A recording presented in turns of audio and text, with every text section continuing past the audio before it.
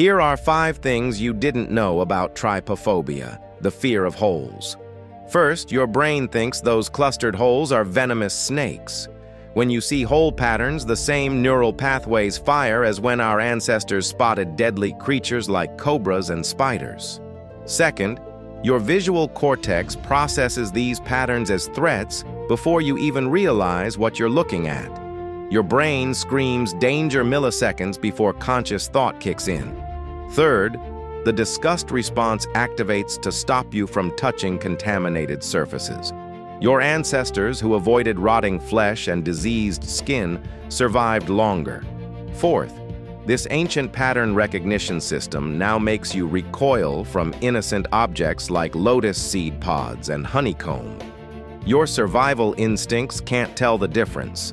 Fifth, up to 25% of people have this phobia, proving how our brain's threat detection can completely misfire.